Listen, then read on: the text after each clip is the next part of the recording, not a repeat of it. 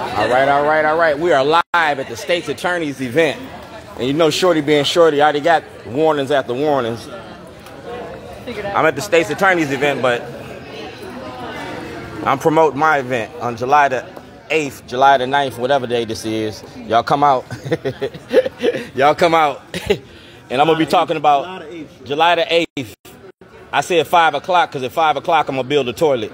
And at 6 o'clock, you can come in the building. I'm going to be calling potty training politicians. We're going to talk about all the corruption in Baltimore. We're going to talk about all the wrong in Baltimore. Don't run. We're going to talk about Hassan. Hassan, how long you been knowing me? 15, 20 years? Has my, has my conversation ever changed? Has not. My, my, my message ain't changed at all, right? I said send them to jail, right? I said send white people to jail, right? For 15 years.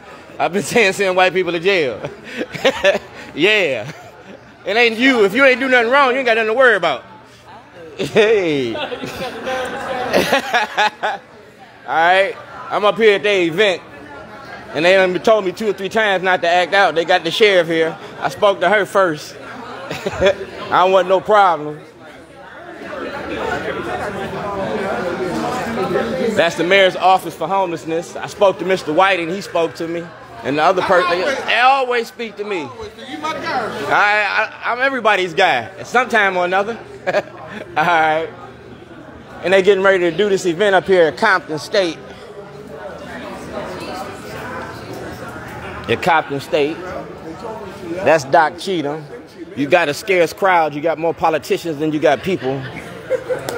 You know what I'm saying? I'm just keeping it real. Yeah, you're up. It's almost six o'clock and ain't no people in. The, ain't no people here. A lot of people don't know where to go. That- Ain't that how you keep a secret?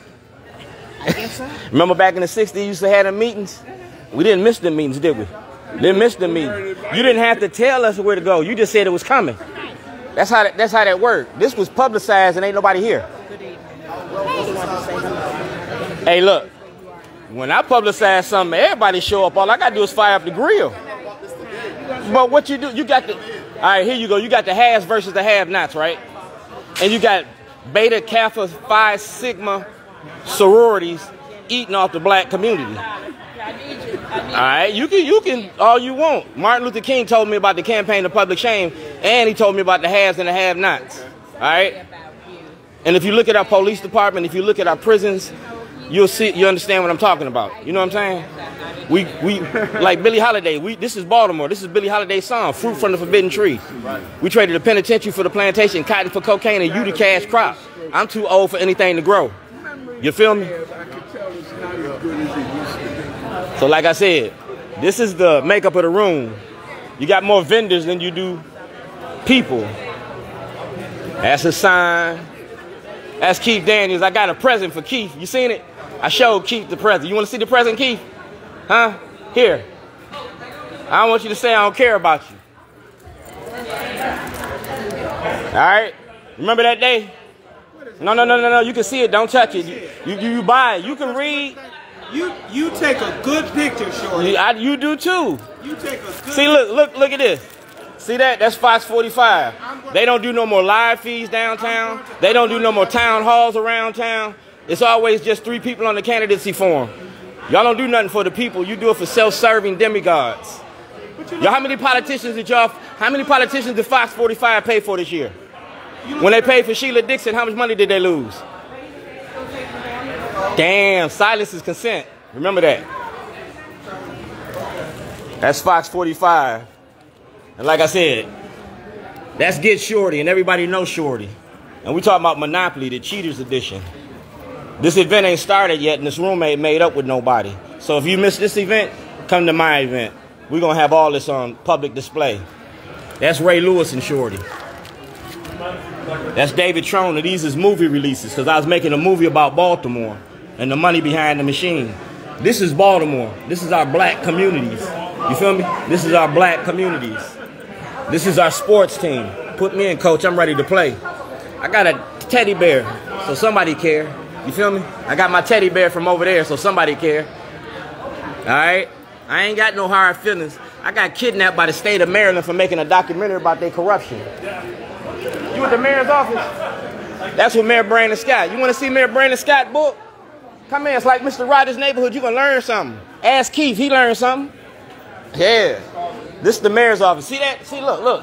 Who that? Ain't that your boss right here? Curiosity gonna kill you. You know you wanna look. We talking about the money behind the machine.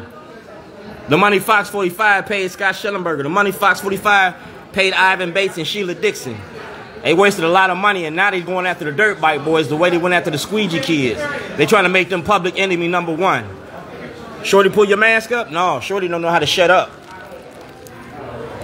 That's the rule. Baltimore's biggest loser. He couldn't even win a dog race.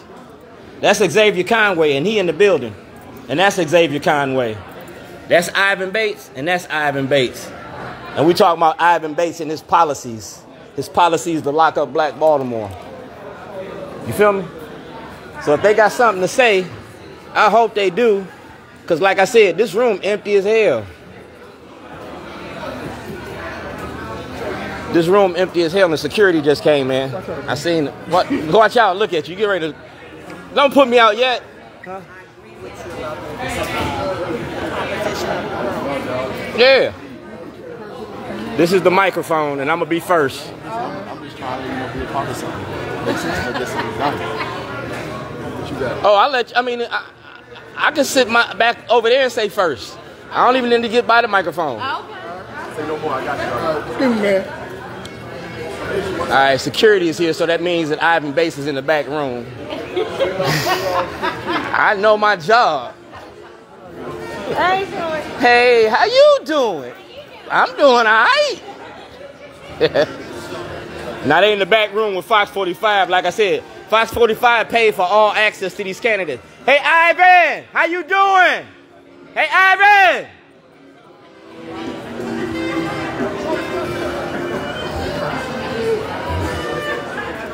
How y'all doing? I was just speaking to the man.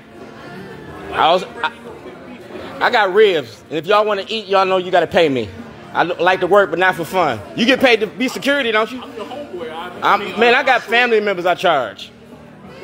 I make my kids work. They don't eat for free. I'm, I'm VIP. You are VIP. That means you get a special price.